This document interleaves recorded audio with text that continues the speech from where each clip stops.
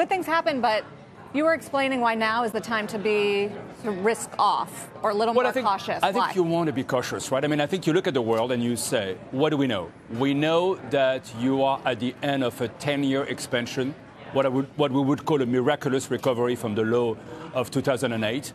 You know you have a trade war with China with many possible outcomes, but very little degree of certainty. You have a tough situation in the Middle East. You have uncertainty about Brexit and I would say Italy. And so you want to be cautious. And I think, I think one of the theme is that you don't want to be always full on in terms of risk. And so right now we're cautious from a macro standpoint. What does that mean? Keep buying treasuries, the dollar? Thinking about the risk you have on, thinking about the downside, thinking about what you will need to do in terms of trading out of bad risk, thinking about the liquidity of your portfolio, thinking about what may go wrong, and thinking about scenarios where you want to be able to add on weaknesses in certain assets if the time comes. And I think you always want to benefit from market downturn and be able to add. So do you just shorten durations and, and I focus think in on sort of- particular asset classes? To some extent, yes. I think I think we we you know have no strong view in terms of duration in the U.S. right now, but I think we have non-agency mortgages. I think we have mortgages that we like. I think we like some credit. I think we like UK banks. I think we have a broad portfolio of securities that we like and we think are you know bulletproof for most environments. Do you think that Jay Powell can do as he promised, act as appropriate to sustain the expansion and keep it going in the United States? Yes, we do. There's a lot of things which are out of his control, and I think one of the complexity of the Fed's job is to deal with what is not an easy political situation where his reading is not better than any of us in terms of what may or may not happen in uh, the months to come and whether we get a resolution in 2019 or not to the situation with China. Manny, are you concerned at all about this recent um, tumult in the repo market?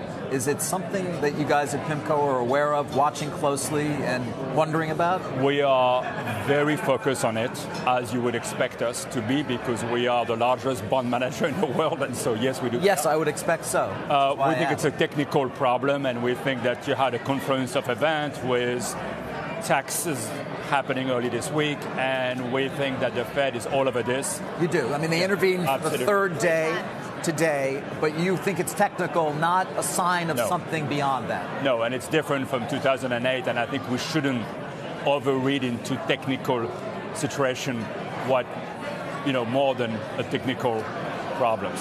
Do you think we could ever see negative interest rates in the U.S.? I would say very unlikely. It's of course possible, but the US economy is not in recession. Our base case, as we were talking earlier, Sarah, is that the US will slow down to 1%, but we don't foresee a recession, and accordingly, there's absolutely no reason why rates should be negative. I mean, there's not necessarily a recession in some countries where there are negative rates. Is that the main reason? Well, I think if you look at where you have negative rates, there's two reasons, right? One, that they have no growth for the better part of the past 10 years, and two, that the central bank has been buying every possible bonds they can. And if you think of the mission of the ECB, they, re- they really have reinsure the weaker credit. That's the way, as a European, I think of it. The ECB has basically got Germany to guarantee Italy and Spain. And, and the result is obviously this very strange situation that none of us have ever seen of $17 trillion of bonds with negative yield. How close is Europe to a recession, and do you foresee one in the near term? They are not far away, and obviously Germany, for example, is very exposed to the China and the export sector, and you know that's Not getting can a lot tip- better. Yeah, that can tip, but uh, France has done better than expected, for example, which is surprising. And then, you know, the UK. Who knows what's going to happen with Brexit over the next two months? Do you think that Brexit could really cause a significant market disruption if it's a hard one? If there was a hard Brexit and the UK leaves slamming the door on October 31st, it would not be great for Europe. Send Europe into a recession potentially? It wouldn't take much, I would assume. It wouldn't take much. Would we feel it here in the U.S.? No, I think the U.S. I think the U.S. I mean, one of the things which the U.S. shows is the consumer is 70% of the economy and is incredibly strong. And for as long as we have the consumer driving the economy, I think we're in decent shape. Yeah, I mean, Mary Erdoes was saying, you know, that they, they say all the flows into Chase. Consumers in good shape. She's not worried about balance it. Sheet are in good shape. So, so is that something investors can bank on in the U.S.? As much as anyone can bank on anything, I think that's a reasonable thing to do. And we like housing, for example. I mean, my, my partner, Dan Ivascyn, who's our CIO, likes housing, and that's why we have so much non-agency mortgages because we do like U.S. housing. We think that it's in pretty good shape and that the market is clean and that, uh, that it's a good place to be. But speaking of flows, how much are prices over here in the bond market being distorted as a result of the fact that there's 17 trillion of negative sovereign paper in the world?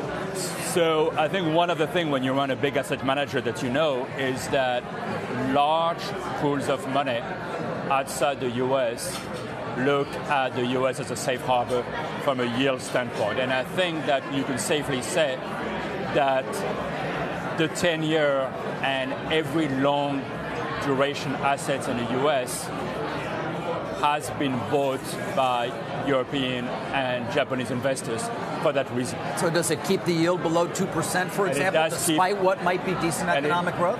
And I think my, my partner, Mark Kiesel, always says, every time you see credit widen, people want to find income assets and they come and buy them.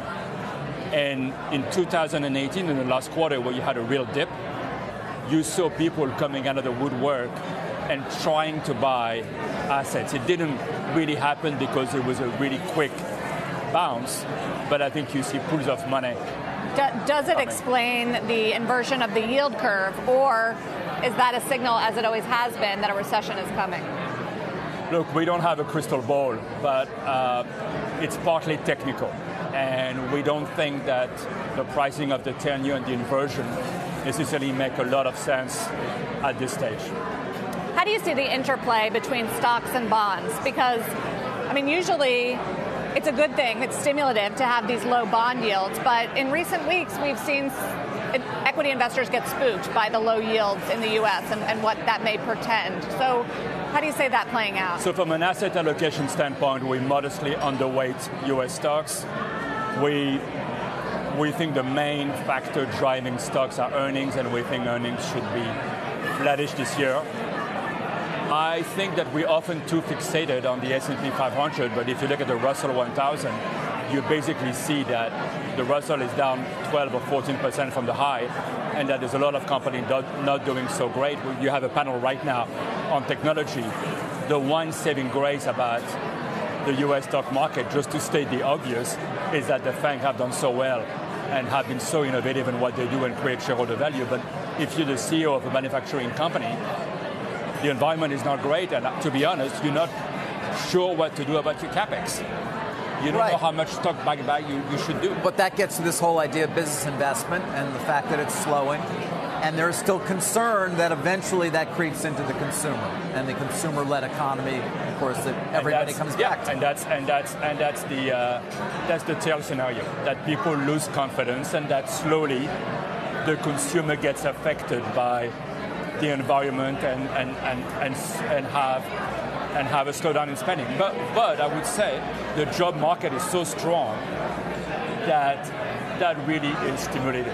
One thing that, that, that came up during our panel was the election and how that might play into the current investment landscape. What are you guys at PIMCO anticipating, and how do you think it'll shape markets? Well, ahead of, uh, of policy, Libby Cantrell is much more uh, apt to answer that question than me, but I think she would say, if she was sitting here, she would say, there's a lot we don't know. It's just too early to tell, and it's definitely not a good thing to invest based on what we know right now. We, so, men- we mentioned uh, this is your first TV appearance. Since you that's right. I, but you've been running PIMCO now for three years. For three years. So just there was a lot of tumult early in your tenure. How do you think about the changes you've made and where PIMCO is right now in terms of an asset manager? It's well, we're doing great. It's a team effort, so it's really not about me. It's about a group of people who want to go in the same direction, who want to deliver value for customer, and who care about performance.